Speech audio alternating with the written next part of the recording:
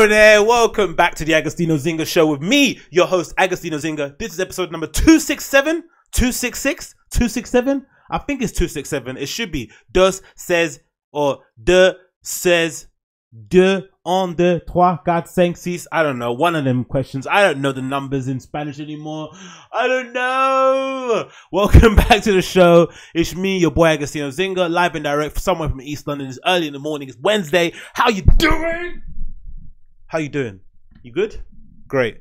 Amazing to hear. It's Wednesday, man. For you weak-minded, you know, lacking in self-discipline MFers, it's the middle of the week now. You've only got a couple days left until you can get on it like Sonic on that Friday night after work because that's all you guys live for, isn't it? You just live for Fridays and Saturdays and Sundays. But not maybe not Sundays because you dread waking up in the morning, but you only live for that Friday and Saturday. I'm glad. I'm glad every single day that I'm able to wake up, open my little black little dot of eyes and see the world for what it is. All right. The sun is beaming. The sun, the sun, yeah, the sun maybe. The sun is beaming from this side of my window. I'm staring directly into this camera, 720p. If you're listening via the podcast app, what you doing? Check me out on YouTube. If you're watching via YouTube, smash that like button, hit subscribe, and let me know what you think of the show.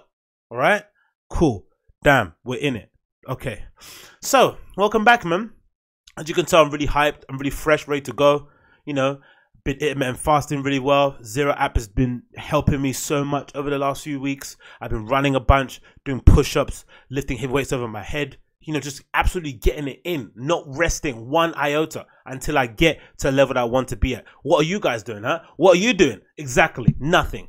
I'm only joking. Anyway, I hope you guys are good. Hope you guys are well. It's Wednesday. I'm looking forward to it. It's probably my most dreaded day today because Man United are playing later on this evening um, against Tottenham, and you know I'm nervous. I'm scared because I'm aware that we're probably going to get battered and it's going to be a whole evening spent watching fan reaction channels, making me more angry, and then I end up, you know, not falling asleep. That's the thing that happens with fan reaction channels, you know? These fan reaction channels are the best thing to happen to football because I love how, um, I love how annoyed the football journalists are getting with fan channels. You know, it's really putting them out. It's really kind of, you know, bending their nose the opposite direction. Because we've, we've had to put up with so much drosh in terms of journalists and editorial content when it comes to football right? For the most, for the for the majority of my um, uh, footballing loving life, I've had to spend my time listening to stuff like Talksport and reading, you know, tabloid newspapers like The Mirror, The Sun at times, The Time, whatever it may be, these fucking garbage newspapers, and having to absorb any kind of knowledge or having to read between the lines where some of these journalists have their own motives, you know, um, enacted with some of their opinions. At least with the fan reaction channels, they can be a bit knee jerk, they can be a bit reactionary. Q is in the name, but at least you're getting direct um, unfiltered opinions from people that actually love the club you support. Or in some cases, you're getting some general football channels, like I think Football Daily and love a few other them, few others are like that. Even a Squawka channel, which are you know generally give a platform for fans to come on and discuss their team in a clear and logical way. Biases are on the table because you know what team to support based on the jersey that they wear and how they shout on the camera. But by and large, it's fans. It's made for fans by fans. I love it. But you can't help but you know we have to admit once your team loses and you watch a few of those channels and you have to go to bed i find it so hard to go to sleep. Your mind is racing with all kind of opinions that you say if you're on the camera and uh, points that you don't agree with. It just gets you riled up. It's probably the worst thing to watch going to sleep maybe next to maybe a horror movie right? It's just not the best thing. It's not gonna you know send you to betty bye bye time. It's just gonna make you so irate. You wake up in the morning wanting to punch your wife. I, I mean sorry punch a wall you know what i mean? So uh yeah man. Yeah yeah yeah yeah. But what can you do that is um for another day. I've already made a little com- I made a little video actually regarding that, and it'll be available on my other podcast called Stratford Red Devils. If you haven't subscribed already, please check that out. Stratford Red Devils. I'll put the link below in the description because you guys subscribe to it. Um, it's it's a playlist on my YouTube channel. So if you're watching via YouTube, just click the link below. There'll be a link to my playlist of my United videos. I put them separately because you know this podcast like to keep it separate, keep it nice and um specific to streetwear, specific to culture, specific to music, all that good stuff, and then leave all the other stuff the other way. So if you want to check out my views regarding football and regarding all things Manchester United, please check out my podcast called Stratford Red Devils, also my YouTube channel, which you'll find in the link below if you're watching via YouTube. If you're listening via the podcast app, you'll find link to the podcast. Easy, isn't it? Easy come, easy go. So Wednesday, I'm feeling hype, I'm feeling good, and I'm also surprised and really amazed that this guy And if you're not familiar who that is, that's Trippie Redd's album. I'm not going to play the whole thing. I'm probably going to get content ID'd. But Trippie Redd has sold over 100,000 um, units of his um, recent album that just came out, which is called, for the love of it, um, A Love Letter to You, Volume 4, or Number 4 bloody hell, man, amazing. And I'm happy for the kid because I think that exclamation mark album that came out earlier this year that Playboi Carti ended up having a track on and took it off again. I don't know what happened there. They probably had some dispute, but it didn't really um, get the reception it deserved. And I've long argued, even though he's a very, he's a proper terrible performer. If you watch these videos on on um, Rolling Loud and stuff, for the amount of talent that Trippie Redd has, he needs to invest a lot more time and a lot more money and effort into his live shows because I think if you put that effort into his live shows, same as say about Playboi Carti, I think, in my opinion, again, argue as much as you want, but in my humble opinion, Trippie Redd, Playboi Carti, Lil Uzi Vert are really on another level in concern of all those other kids and that kind of SoundCloud kind of aesthetic of rapping, right? Whatever you may call it, whatever that theme is, they're they're in a league of their own. Trippie Redd, Uzi Vert, and Playboi Carti. But of the three, the one person I want to go see perform live specifically is probably Lil Uzi Vert. And Lil Uzi Vert still has does that thing that annoys me the most about hip hop artists, where they always scream over a vocal backing track. There's no um, there's no effort to try and sing their songs live, especially in a case maybe Lil Uzi Vert has more of an excuse because you know if you break down some of his raps and go on Genius, you can see he packs a lot of words into like into into his verses. So maybe he might run out of breath, and you know it's hard to kind of do the whole breath control when you're on stage, running around, jumping around, jumping off the um, the um, the scaffolding of a stage and stuff. But for the rest of them, such as Trippie Redd, such as Playboi Carti, who you know for the most part it's a vibe, it's a melody there's no excuse for them to be having the vocal backing track in the background and then just screaming on top of it. You should be able to perform live and just be able to kind of, you know, enunciate your words properly um, and just kind of get the crowd hype. Because if you've seen the videos, you'll see that essentially Trippie Redd and Playboi Carti act as their own little hype men, right? So they basically stand in front of the stage, jump around, and just scream, you know, especially in, in, in um, Trippie Redd's case, you know, 10, 14, whatever it may be, and that's it.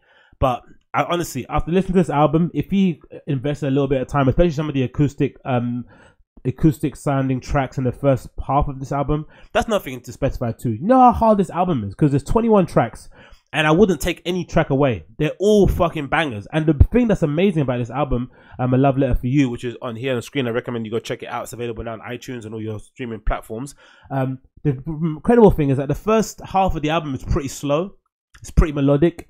Um, it's pretty somber, a lot of heartbreak and turmoil in there, and then it just flips the script. The second half of the album just starts punching you in the face again and again and again. That track that I played recently now with um, this production of this track, this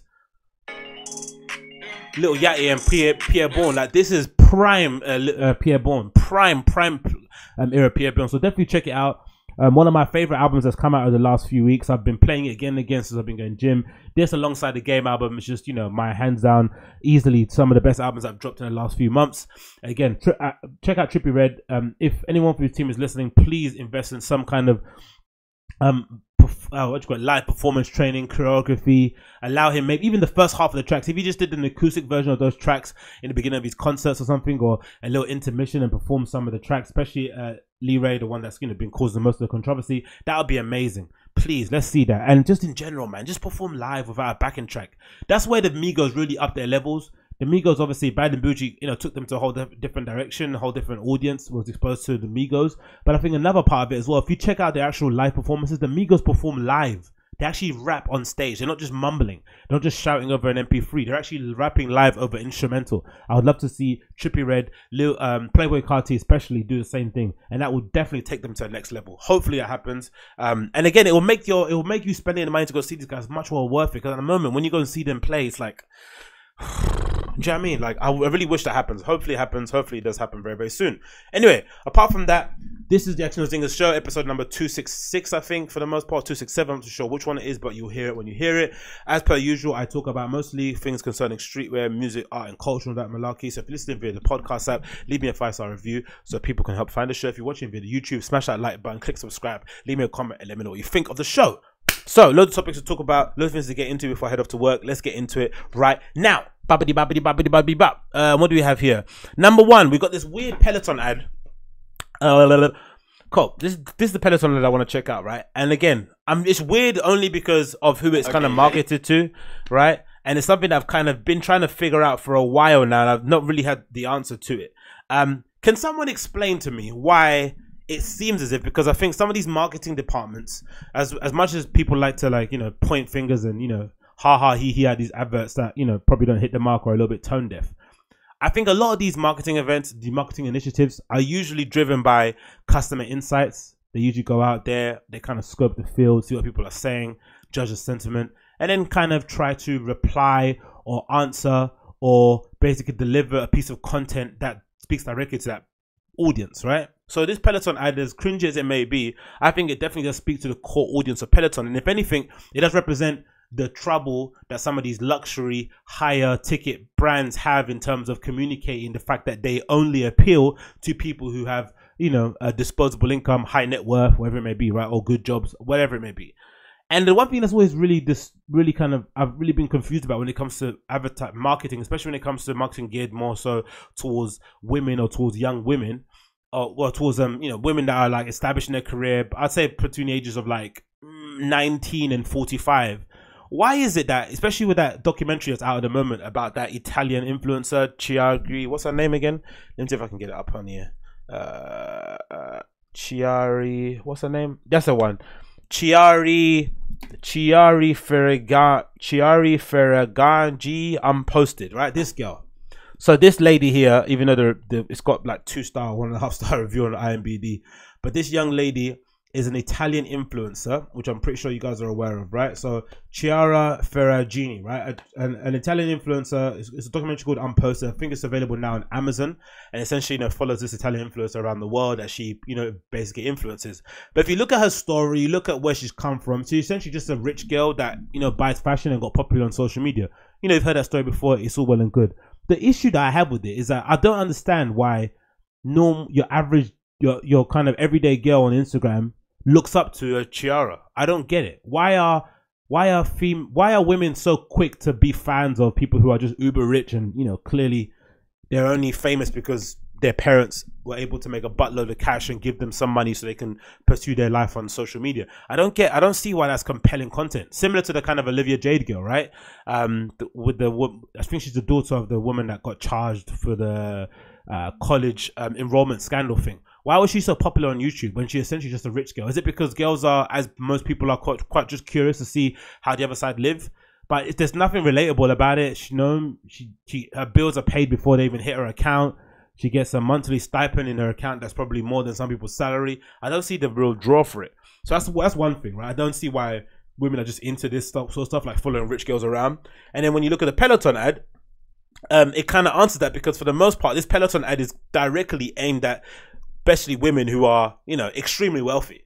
And every Peloton ad I've seen so far, again, it's one some is maybe that, that's where probably people maybe maybe um an, an, analyze how Apple did it with the MacBooks because the MacBooks are not cheap items, but I want a MacBook, for instance, right? And I'm, you know, I, I wouldn't necessarily I'm a millionaire yet, and people who have a high net worth also want MacBooks, and they show them off as a point of, you know, as a form of luxury.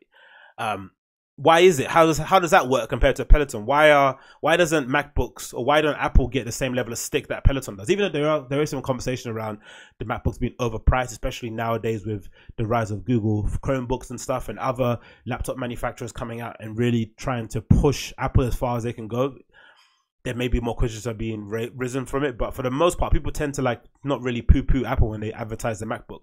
So why does the Peloton get such stick? Well, it's because it adverts like this. First of all, when you get up on the screen, you've got a picture. The first image seen is of this young lady, fairly fit, with a really cute little daughter in her hand and toe, in this amazing apartment with these massive, you know, floor to ceiling windows that you know look out into a snowy garden. It's Christmas. It's snowing outside. The garden looks perfect. The perfect size for a daughter. Perfect size for a, a, the husband to go out and do some pull-ups. The perfect size for the wife to go out and do some yoga. And a kitchen counter that probably bigger than my entire kitchen. Right. So that's the first scene, and then it goes into this whole uh, diatribe, which is okay, funny as hell. Now, a Peloton the husband gifts the wife with a Peloton bike. Oh my god, a Peloton bike! And just behind the Peloton bike, what do you see? You see an open fire flame, right? Not artificial kind, not the ones that you see with the screen. An actual real fire with logs on it, a, a tree in front of it with an assortment of gifts, different sizes, different kind of gifts. Tiffany bracelet, Tiffany ring, Tiffany shoes, Tiffany bag, Tiffany, Tiffany, Tiffany, all over the place probably, and a lovely Peloton bike right in front of it. All set up and ready to go. I'm sure Peloton bikes don't come assembled, so the husband had to probably hire somebody from My Builder or Rated People or one of these companies, whatever sort of companies, and get them to assemble the thing. Or if he's handy and he's he himself is an electronic engineer or a product designer, he probably put it together himself. Right, first ride. I'm a little nervous. And here's obviously, and of course, the the wife who is maybe a stay at home influencer mum is a big on social media. Even though she's recording the video in landscape mode, that lets you know she probably has her own YouTube channel, and she's now recording herself sitting on this Peloton bike, riding it in the house and riding it into a structure. Now, the in- interesting thing about these Peloton bikes is that I always got the feeling when I was doing something similar at home, these home workouts, which I was doing the uh oh what's it called, man? The beach body. Remember the beach body workouts? I think with the, the, the black guy, I forgot that one that he was he did, but I did that um workout. And I remember doing it at home first for a while, and my mum said, you know, just you know when you, you know when you start doing stuff, and then imagine you start immediately, especially living at home. The moment you start doing things that people in your people in your house aren't doing, everyone's got an opinion about it. You know, you start eating a different kind of food. My mum started to you know tease me about you know whatever I was eating. It just got annoying after a period of time. So my mum started questioning me about my workouts. I just thought, you know what, too much eyes on me as I'm doing the thing. I just gonna do it in the park. So I'll, I'll download. I'd rip the kind of Beachbody workouts onto my iPad or onto a laptop. No, I had no, I had the iPad at that time. Remember, I, I had an iPad that I borrowed from work, and then I'd go to a park and then start doing the workouts, right? And of course, naturally, what happens when you go work out in the park and you got your specific thing you're doing? Some white lad comes along and starts asking, "Oh, mate, can I join in?" Like, God, no, you can't join. in. What do you want us to do? Like, stand side to side and start doing burpees? Do you know how off-putting that is? Like, I don't know you, brother. I'm not gonna. I, I don't even want to shake your hand, let alone do burpees side to side to you. So that was annoying. So then eventually I stopped doing it eh, altogether and I just did the normal thing what normal people do. I got a gym membership, right? I went to the gym, I started running outside and things were okay. But I think that that kind of a at home workout thing is a good primer before you head off to the gym, especially for me. I was a bit overweight. I was I didn't have that much self confidence. So the initial weight loss and you know um, confidence of kind of gaining that coordination of your body because if you've gone from the couch to working out in the gym, you know how hard it is just to kind of get your body to coordinate, right? Even when it comes to machines, you don't know where to put your hands, how do your shoulders fit? You're looking at the little instructions on the machine. It's really hard. So these little at home workout things, I get why they work because it allows people just to kind of get a little bit confident, have a little bit more assuredness about how their body moves, and then from there evolve and go on to the next step. I don't think you do this until the end, right? Sometimes that's why when they use these models with super chiseled abs and stuff, it's quite ridiculous because for the most part, these guys are maybe doing these at home workouts as a top up, but they're not spending their, their predominant workout time isn't going to be centered around staring at a screen, you know, looking out into their beautiful snowy garden. That's not going to happen. But if again, we digress. The woman is now looking at the camera, telling herself how sweaty she is. She's got the little sweat on. They probably sprayed her with a bit of mist that they got from Lush or something into her face to make her look wet and sweaty. And now she's going to be pounding on that bike, trying to get that body fit and prim. Okay? Good. Let's do this. Five days in a row. You surprised? I am. 6 a.m. So weird. Yay. Rising with the sun. That was totally It's just it. so weird. Look, look, and, and six, and it's going on. The seasons have changed now. Outside is sunny. There's lounge chairs out there. There's a guy now giving her instructions because obviously in the summer, guys are the best instruction givers. And now she's staring doughy-eyed into the camera, thinking, "Oh my god, I, this is just so hard. But I'm so thankful for this." And it continues. Race Boston, Still racing. I just don't understand this. And then for some reason, do people do this? Do people cast their own um Totally their own videos on a t- on a flat TV screen to watch with their spouses? Is that a thing? Is that a thing? Do people do that? That is so bizarre. Like. I would hate it. Like I, it annoys me. Actually, I'm getting wet, hot, and sweating. It annoys me when my friends pull me up and tell me, "Oh, I watched a video on YouTube." It's so cringe. You get so embarrassed. I can only imagine the level of ego, the level of narcissism that would need to be involved for a person to put their YouTube video or an Instagram story up on the big screen on their TV, or and and then get their partner to sit down and watch them ride a bike that's right next to them. Right? It's not like they're sitting down in another room. They're sitting down in the living room watching a TV of a bike that's sitting right there. This is bizarre beyond belief. But what can you say? A year ago, I didn't realize how much this would change me. Thank you. This holiday. As if your daughter's gonna be sitting there watching mommy just ride a bike. She wants a bit of cereal. She wants a sandwich, man. Get off that bike. Stop doing it like the great Theo Von jokes. Put down the, the the deadlifts. You know, put down the barbell, Cynthia, and go make some. I'm gonna make my daughter a sandwich. She's crying. Do you know what I mean? What the fuck is this? This is insane. And again, this is gonna be very popular to the female audience. I just don't understand it because this this doesn't speak to the wide majority of women out there for the most part would a, would a lot of women be willing to spend that much amount of money on a on a stationary bike in the first place? Would they want to work out to that extent at home? Have they got the room for it? It's just so many if buts and maybes. And again, how big is that? Maybe that's a maybe that's a point similar to like slamming kicks or a flight club. Because they've got high ticket items, they can afford not to sell many of them because if they sell one, they essentially pay for their rent, right? If you if you're a flight club, if you sell a couple Eminem Jordan fours, you're basically covered for half a year.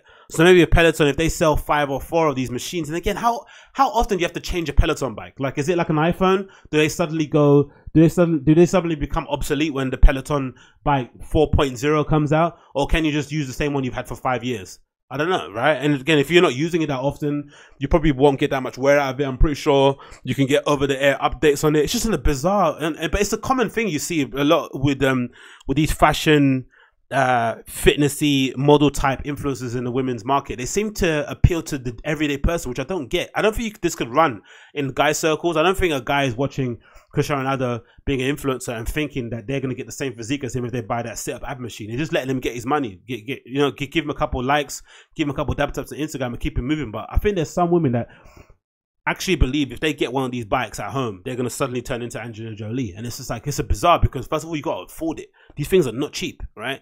It's like when I tried to buy a Concept 2 row machine for my place and I just realized I went online, I was like, oh, okay, cool. I'll just go, I'll just carry on using it at the gym then. Do you know what I mean? It's not, the, these items are not cheap in the slightest. And yeah, I just don't get it. I really don't understand. But again, big up Peloton for uh, doing this. I think as a branding thing, it's pretty cool that they have this item, this product that essentially is only, you know, you only, the only, I don't think exercise bikes even had a brand name before Peloton came around. Maybe the Concept 2 is a good example, the row machine. I don't think there was the, no one ever cared about a branding name of a Peloton, of a, you know, stationary bicycle. And Peloton have kind of uh, created this whole culture behind it, a whole scene. David Beckham is probably the most prominent um, ambassador of Peloton. He's always going to classes or spin classes. Uh, They use Peloton bikes and spin, right? Or is it they spin bicycles? I'm not sure, but he's always going to those classes with his little cycling shoes in hand in New York or wherever he travels in America. So that's a good thing. But for the most part, bloody hell, man, it's a very, very bizarre thing that these things are so popular, especially with the wide majority of people out there who are, un- are unable to afford them. But you know, again, maybe that's the whole point of branding, isn't it? It's be able to kind of give people the illusion or the assumption they're going to be able to afford something that they clearly can't. It doesn't really appeal to them in the same regard as well. But you know, what can you do in that regard? Let's move on from there.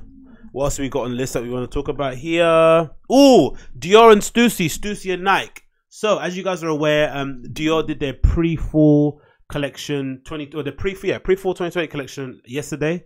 Um, all the stars came out, all the glitz and glamour, all the influences, all the details. But the most striking content, the most striking news of the whole event was the fact that Shawn Stussy came out of retirement to lend his creative hand uh, with Kim Jones's collection with Dior, and nod to obviously Kim Jones streetwear roots. So I'm really happy about. Kim Jones is probably one of the most unapologetic streetwear aficionados, fans, fanatics on the fashion runway scene, apart from maybe Jun Takahashi and maybe to a certain extent uh, Virgil, what he's doing at Louis Vuitton. But for the most part, everyone else is sort of trying to push away their streetwear influence, their streetwear influences on their runway and trying to return back to tailoring as a weird sort of dog whistle to get all the urban people out of the scene. That's my opinion. No one else thinks that, but that's my opinion.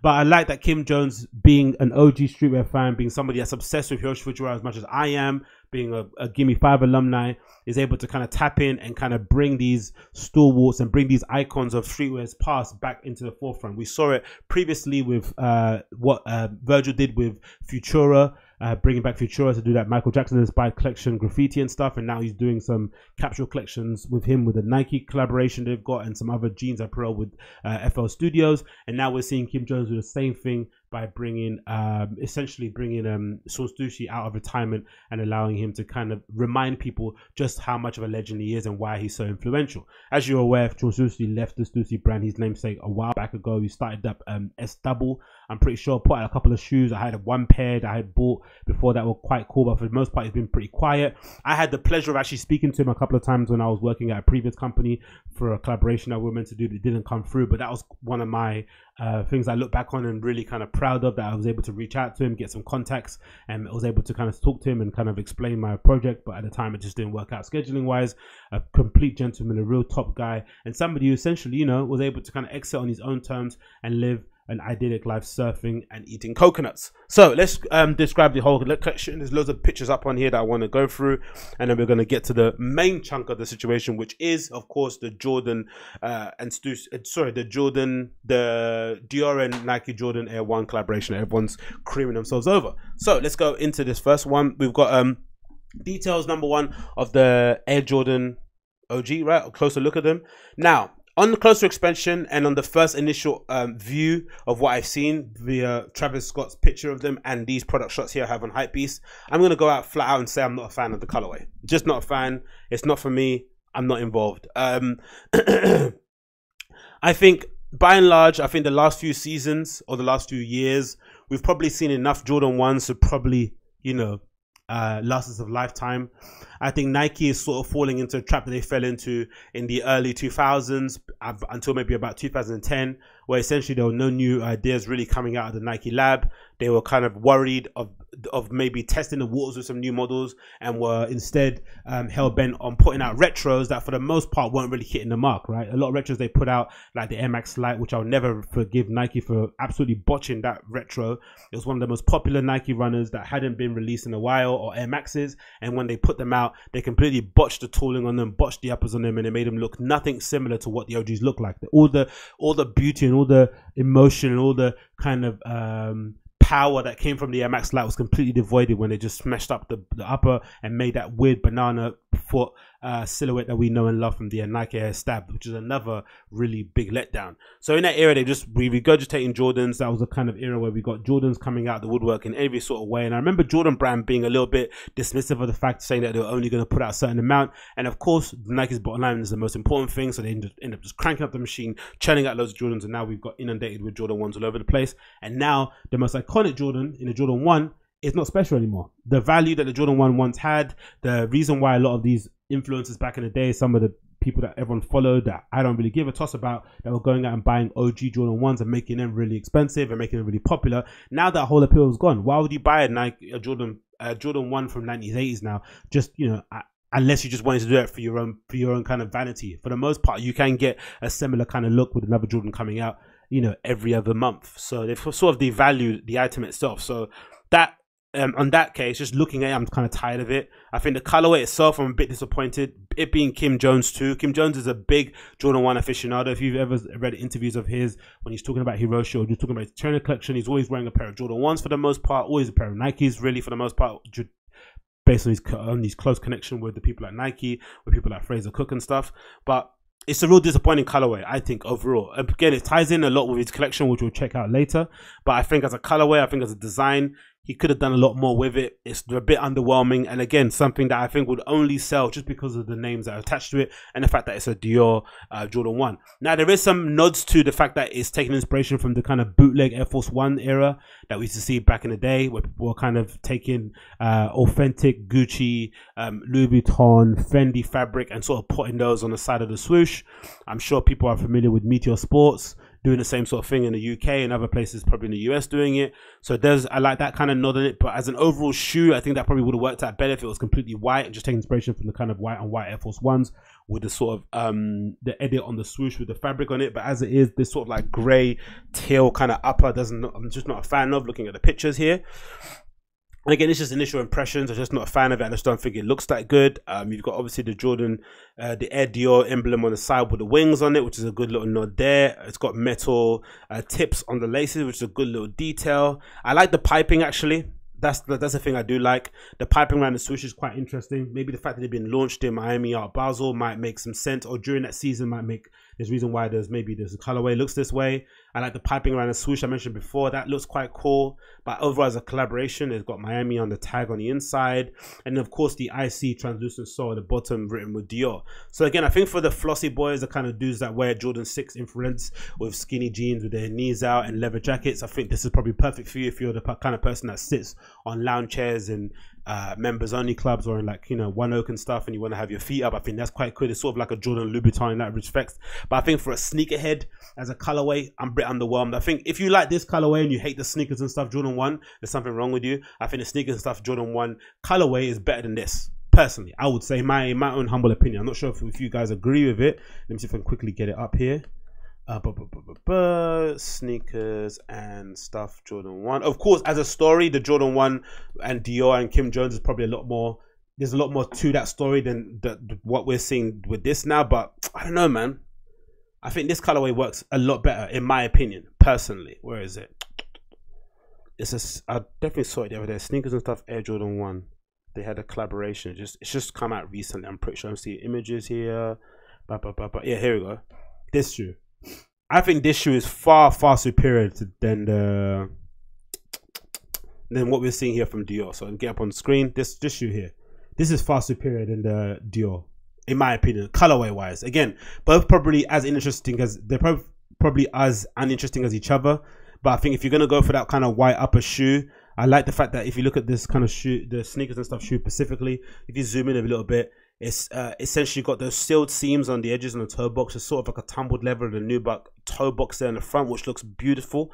And you're sure they're going to age and wear really nicely. And again, just as an upper choice in terms of the white and grey with the pop of the red at the top, it reminds a lot of the kind of OG um, kind of Nike basketball shoes that weren't Jordans. I had a pair of them before. I think they called it Tax or something. I forgot the name of them, but they kind of remind me of that sort of colorway. So again, I prefer these to the Dior ones. But going back to the Dior, again, they got the piping around the switch is probably the best bit about it. Um, and again, I'm just not that enamored with them, man. I think they could have. I think you could have came across a lot harder with them. Again, cool details on it. The fact that they've got Dior on the wings on the side. They've also got Dior written on the tip of the laces. And I think if you zoom in on the tongue here, there's also uh, Dior uh, motif embellished all over the foam bit of the tongue there. So that's pretty cool to check out, right? So that looks amazing um, for people that want that kind of shoe. It's supposedly going to be priced at like two thousand dollars or some stuff, um, or something like that. So you know that rules out a whole chunk of people because you know straight away if it's going to be priced at that amount, that means the retail price is going to be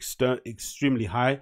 Now I'm not sure why they're priced that high. I'm not sure it's because they're using the Dior fabric, which is you know quite high cost, or I'm not sure because it's just the name. Because I, I can't remember a shoe that's cost that much that was available for retail. Even the Supreme Louis Vuitton trainers, how much did they cost? And they yeah, that's the thing. They were Supreme, they were Supreme and Louis Vuitton, so they were Louis Vuitton tooling shoes, right? The kind of chunky, um, orthopedic sort of looking trainers, right? They were a little bit, they were they were Louis Vuitton inline trainers, so I'm not sure why these cost so much. That's the troubling part of it. Um, but it says the following here from Hypebeast just after the Nike officially unveiled its Jordan Air, Bra- Air Jordan One OG collaboration with Dior. We now have a take a closer look in question. Shown in Miami as part of the Dior Fall Winter Pre-Fall collection. The Dior Air Jordan 1 OG takes classic 1985 silhouette and brings it to new heights.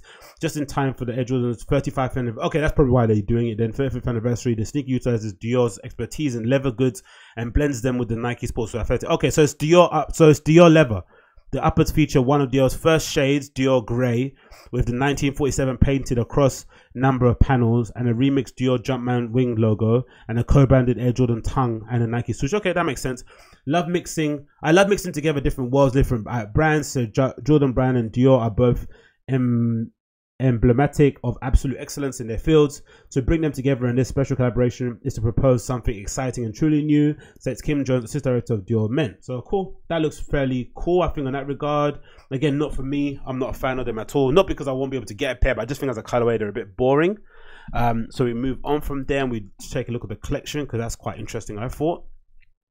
Ba, ba, ba, ba, ba. We see some other images, of course, of the Jordans. They're, they're everywhere. Innit? Two pieces, two stories from Hypebeast about the same trainer.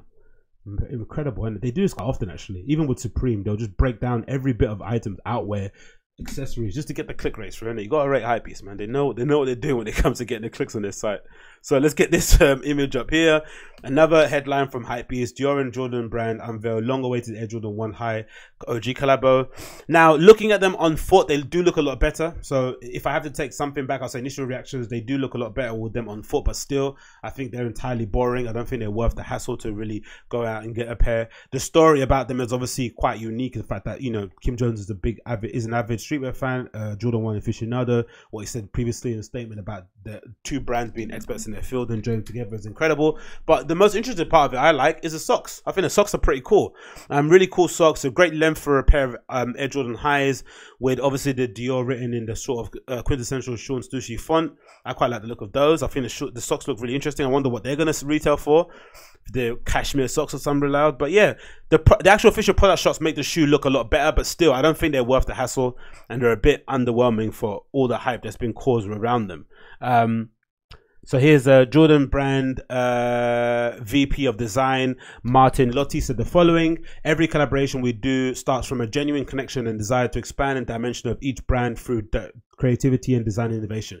Now, they always say that, innit? Every collaboration we do is a friendship, we're connected, it's about real appreciation, blah, blah, blah, blah, blah. But as it, when are they ever going to come out and say, look, we're just doing it for a cash grab? He's Kim Jones, he's the head of Dior, we're Jordan Brand, we're dying on our feet, we need another spruce up. You know, when are they ever going to say, never going to say that. So these, this idea that every collaboration is some sort of unique collaboration between two people who happen to cross paths at the same gallery or happen to be at the same bar is nonsense. We know that for the most part, most of these individuals, these high companies, have been in their jobs for years, maybe decades. So if you hang around for long enough and you you know move positions here and there, you can exchange favors from friends to friends, and it's also quite nice if you actually have a friend. Imagine if this uh, Martin Lotti guy is actually a mate of, of Kim Jones who used to work at you know X brand and now he's at Jordan brand and suddenly now this collaboration opens up again. That's quite cool because I'm pretty sure whatever Fraser Cooke handles in terms of his marketing side is separate from Jordan brand. They probably don't intermingle. Probably Fraser Cooke can lend a good ear or a good introduction to Kim Jones, but Kim Jones obviously needs his own people to kind of give him the stamp of approval. So the fact that it got approved is sick, but this idea that this is a special thing is a bit bizarre. Every collaboration text basically like this, isn't it? But anyway, it continues. Um, our partnership with Maison Dior will offer a new look into a style of basketball. Is it a new look though, really? And blend a high-end streetwear with luxury fashion. I'm, I'm glad I said streetwear in the copy and didn't try and shy away from it. That's pretty cool. Um, we'll pay homage to both brands, rich iconography and draw inspiration from our heritage. But it's, hmm, it's a bit bland though, isn't it? Like I said, I'm not really a big fan of it. I think it's a little bit. Um, yeah, the video looks cool though. Again, I'm just not a fan of it. Again, um, you know what I hate also? I hate the fact that they didn't relace the shoe for the product shots. It's one of my pet peeves when it comes to product shots. They just leave the laces like that. Like, you know, laces where you see how a shoe might be out on size, just like put out there with no love or support. If I go to like a sneaker store, I want to see the shoes laced properly. I want to see them, you know, the, the laces go over, under, over, under, that way up, right? That way, like a V shape.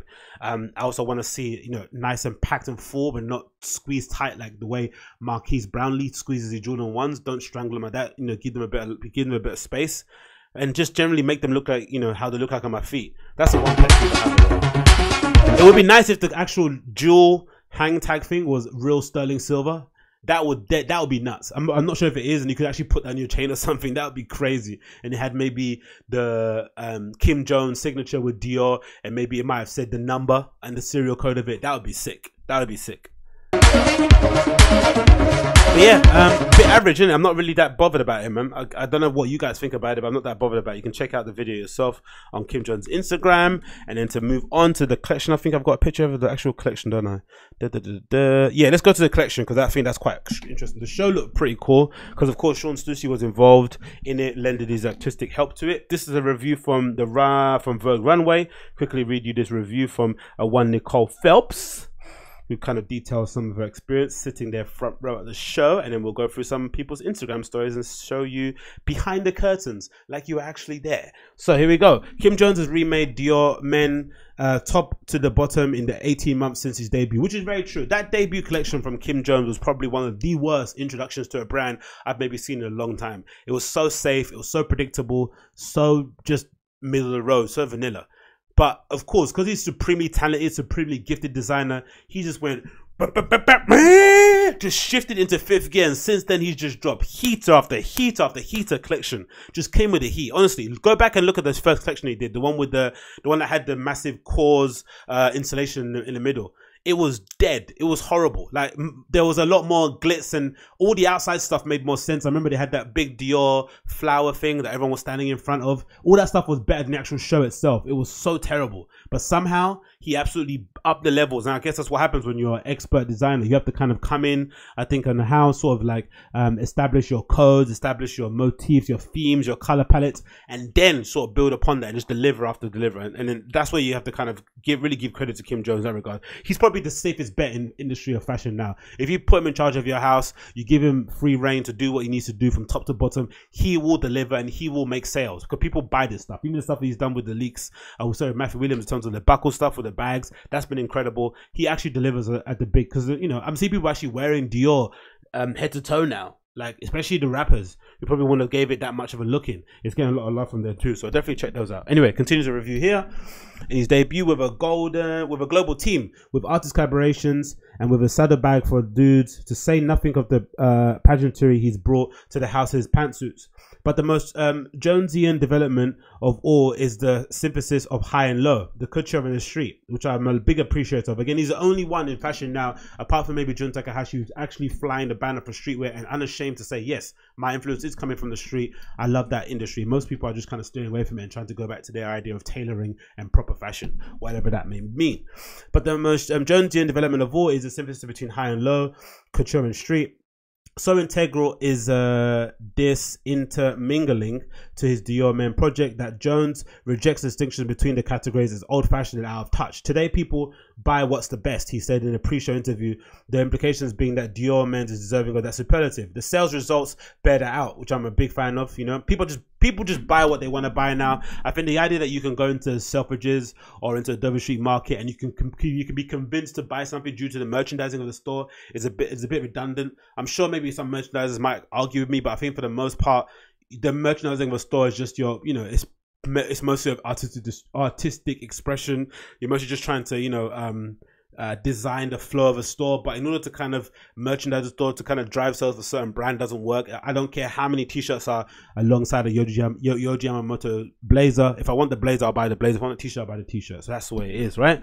The sales re- the sales results bear out. The article says, and Jones' show in Miami Beach tonight should only make them rosier. That must have been a vibe, innit? Imagine going to see a Dior show collaboration with Stussy with Jordan ones running down the runway in bloody Miami. That must have been a vibe. So nice and warm, drinking cocktails, the beach, blah blah blah. Must have been so cool. Let's start with a little uh, matter of the collaboration with Shawn Stussy, who reimagined the house logo MB, which is amazing, right? When the partnership was announced a day ahead of the show, the internet lit up with anticipation. Joan was a pre, uh, was a pre preter pre preternatural ability, preternatural ability, sorry. Preternatural ability? I don't know what that word is. I can't say it. For creating buzz. Anyway, record the Supreme collab he engineered while still at Louis Vuitton.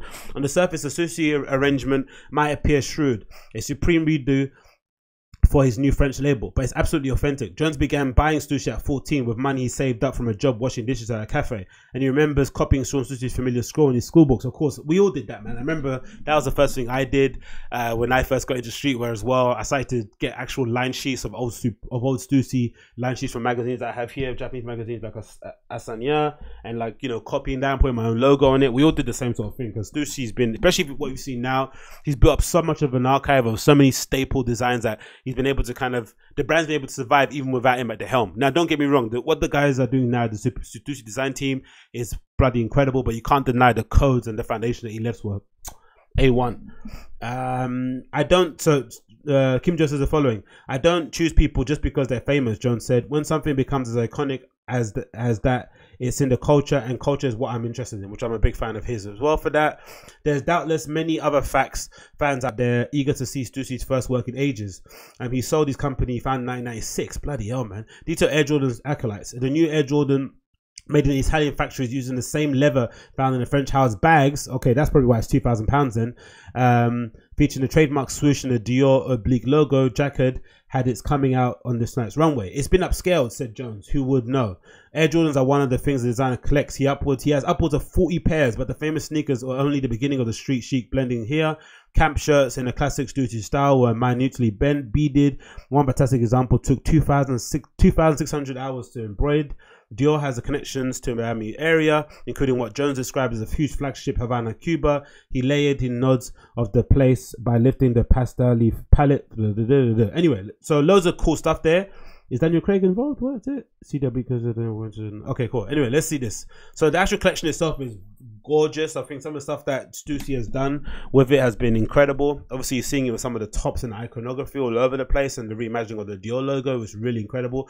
I think that Dior logo, Shawn Stussy's script thing, is going to sell like hotcakes. There's no denying that whatsoever. So again, the commercial viability of Kim Jones is incredible. The fact that he sent this out of his as his first look is essentially something you'd see um, Shawn Stussy wear on holiday somewhere, a nice a nice bag, a great little Parisian sort of in style hat, a great jumper with a shirt underneath, some really light warm shorts, and of course the Jordans and socks on. A classic, classic outfit that would work both on the beach and in a club. An amazing, amazing um, debut from Kim Jones. Again, just great overall.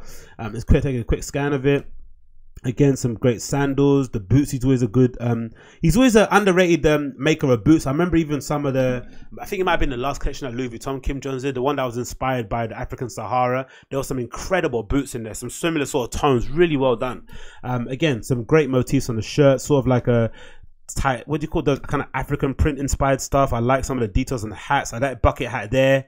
It's gonna sell like absolute hotcakes. You know it's gonna go well. These little accessories with little flowers on it. Some of the earrings look incredible. Again, little accessories such as the bags here in, in front. Like he's just a master of those little extra trinkets because I think he collects them anyway. Him being a fan of, you know, Hiroshi Fujiwara, who's a master of those little pouch trinkets, you know, little camera cases, uh, cases for a case, a case for a cable. Everything's everything's got a little case for it. I really love that. So he's able to kind of translate some of those likes or wants of his of his own wardrobe into the runway, which is great to see. Again, some great tones, some pastels, some nice browns. The trousers are always he's cut on his trousers are always superbly done. Again, a real update on that kind of loafer shoe model, which I'm a big fan of. A great little scarf motif on there, scarf tie thing. Those hats look really cool. I'm a big fan of. Again, the earrings are incredible as well from the little detail I can see there. Again, just really expertly done. The shorts are a good length, great suiting, nice and relaxed fits.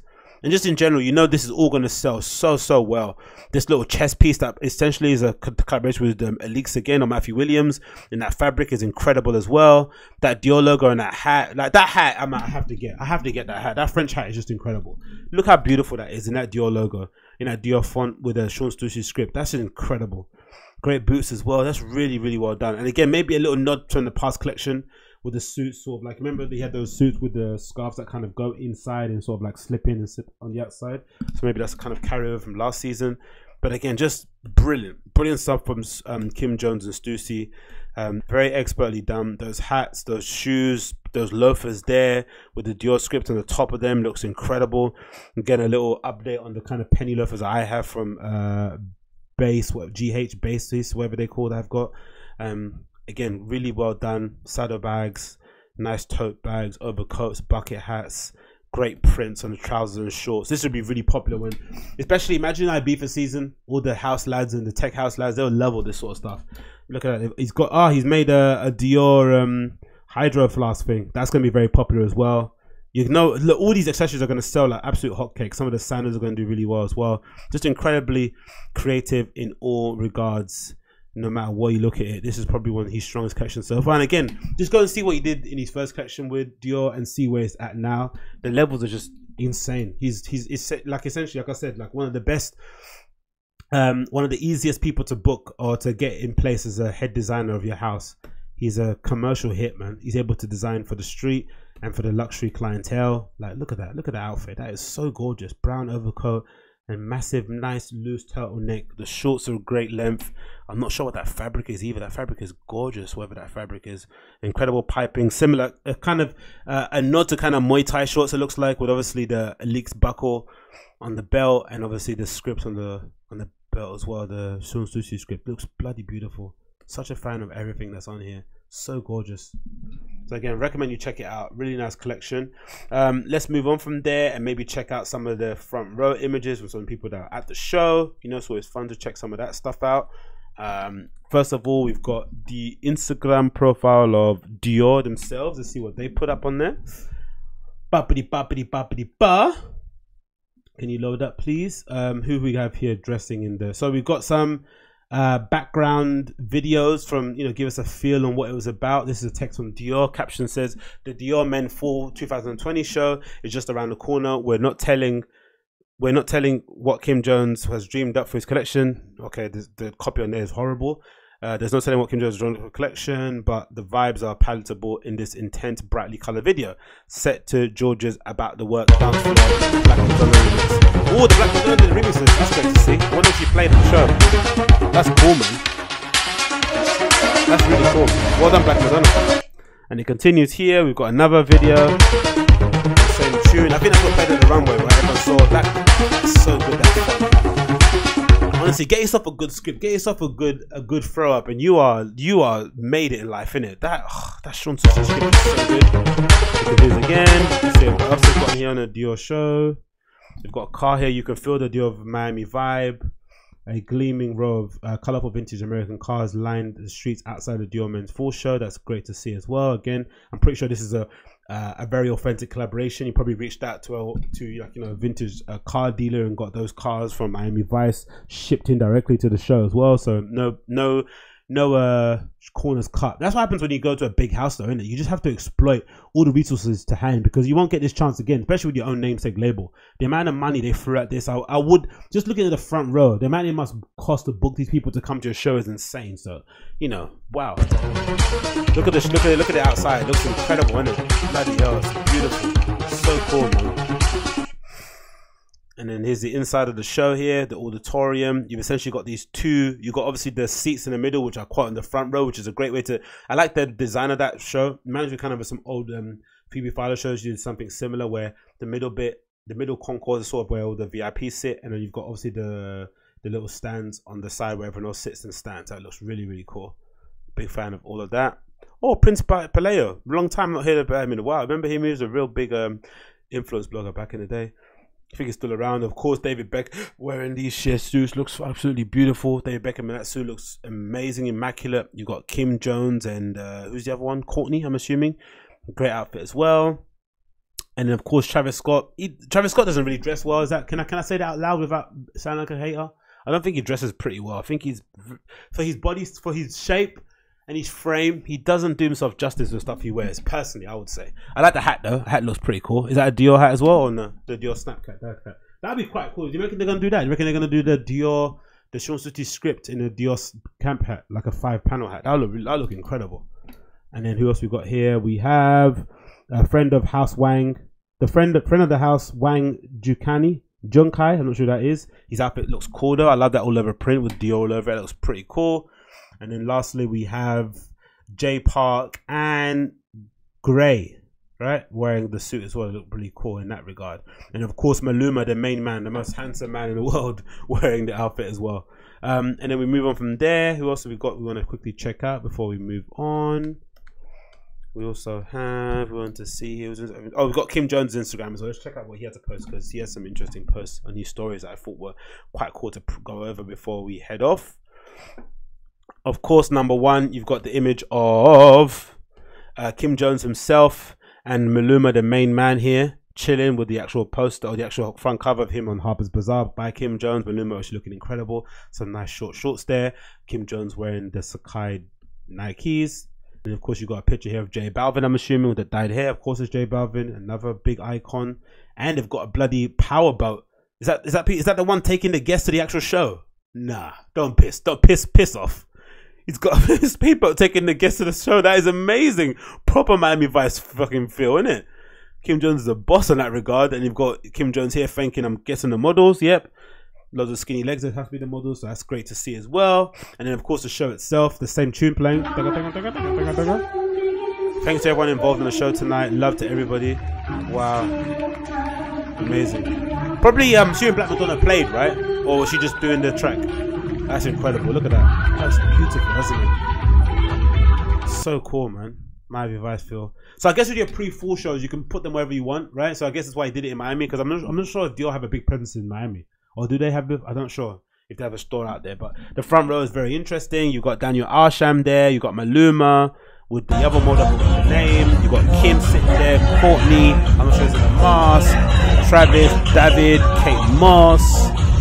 Uh, oh, I forgot his name. The one that used to be a designer as well. Interesting front row there, isn't it? Lily Allen's sitting there as well somewhere. Everyone's crossing their legs and being all chic and shit, doing the damn bits. Cool, man. Great to see, it. Pretty cool. Let's go on his story and quickly check that, and then we can move on. Um, yeah, Dior invites everyone's thankful for the shoes. Oh, look at the tie dye shoes. They look pretty cool, innit?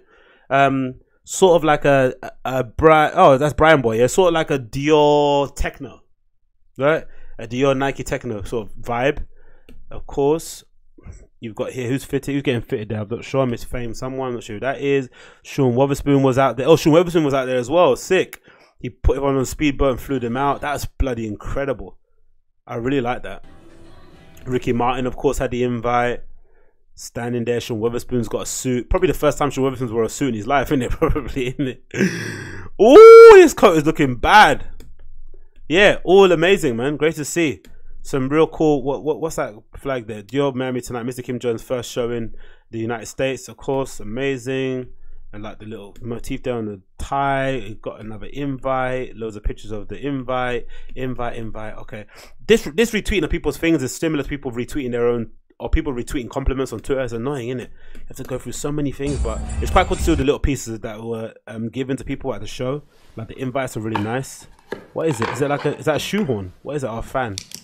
Oh, it's a fan, isn't it? Oh, that's beautiful. Wow. Me lovey, me lovey.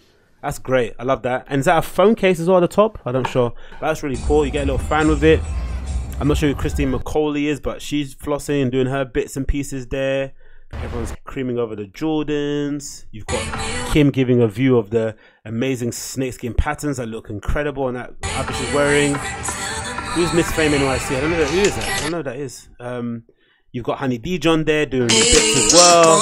Bella Hadid looking stunning as per usual. David Beckham and Kim Jones. A-Trak there. Is he playing music? Oh, sick. A-Trak was DJing. Sick. Great to see. Very American, that? American influence. A-Trak and Black Madonna doing the soundtrack looks incredible. You've got Ali Maki holding up the shoes. I wonder how hard the shoes are going to get to be to get. Very difficult, right? Lily Allen there, of course. Maluma, um, that model girl, I've got a name, and the coalition's there. Ricky Martin doing the damn thing. Ricky Martin looks great, isn't it? Yeah, Ricky Martin, do your thing. Ricky Martin lives in Miami, though, doesn't he? I'm pretty sure. Does he live in Miami? I'm pretty sure he moved there after he got married. I'm not too sure. Don't quote me. But yeah, it was pretty amazing, man. I'm a big fan of everything involved. Big up Kim Jones. Easily one of the best designers out at the moment. He delivers season in, season out. One of the most underrated baby designers, I would say, in terms of actual delivery and output. And again, just bringing it, man. Who's this person with the ski mask? Uh, Skunk and Nancy. Is it? Okay. Really? Hmm. Okay. Um, again, an amazing pictures again with Kim and David. They're good friends. Who's that? YBM Namir? No, it's not, is it? Who is that? I don't know who that is. Be weird if YBM Namir was there, wouldn't it? Alastair McKimm, of course, taking pictures there. Happy to be there. Was he the one styling? Probably. I'm not too sure. Backstage, of course, with Travis and everyone else. Paul Mittleman was out there as well, it looks like. Um, yes, Mark Fraser's tweeting some things. He was there front row as well. So all the movers and shakers in the industry out there doing their thing and happy for his Kim walking down the high, walking down the runway, everyone clapping and whooping, whooping, whooping. Good show from the man. But yeah, he smashed it. Fireworks, of course. Like, you look at that, how they celebrate you, man. No wonder these some of these individuals don't want to do their own namesake brand, man. These brands put this money behind you and throw fireworks at the end of it.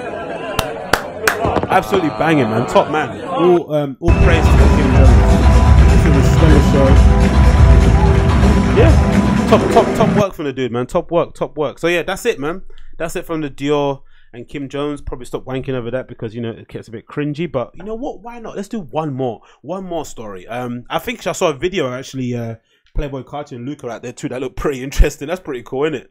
Um, they're out there as well, flossing with the old Dior. Of course, there's an image of it there. You can see Luka, and Playboi Carti hanging out from the uh, Matthew Williams uh, Instagram. I don't know what car that is. It looks incredible though. All black, cheap. Then yeah, great to see. Oh, is that his car? Oh, is that Playboi Carti's car? What car is that? Is that a Lamborghini? Or is that playing under Playboi Carti?